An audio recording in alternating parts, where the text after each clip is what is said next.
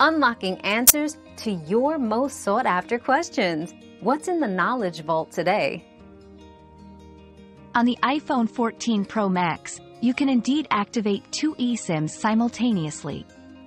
This feature allows for greater flexibility, especially for users who travel frequently or need separate lines for personal and business use. To set this up, go to Settings, Cellular, and follow the instructions to add your eSIMs. This dual eSIM capability eliminates the need for physical SIM cards, streamlining connectivity options.